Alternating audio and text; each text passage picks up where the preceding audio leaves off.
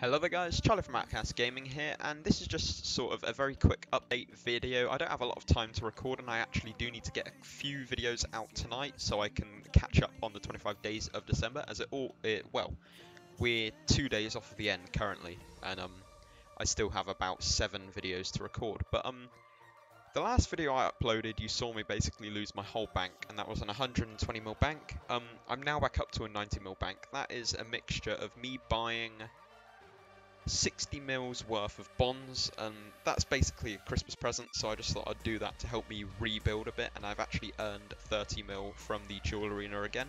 I just won a stake for, well, I put in 20 mil, so I got 80 mil back off of it because I tipped the staker. Um, but yeah, there will definitely be a staking series in the future. There will also be a re rebuild se series, and um, an idea I had is actually to continue doing barrows and anytime I get a barrows drop to sell it and then stake all of the money here so I either double or nothing.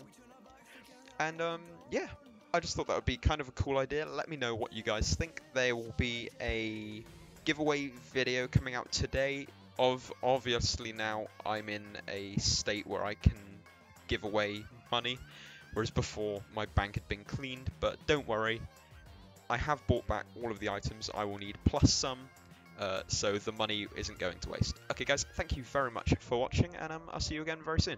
Peace out guys.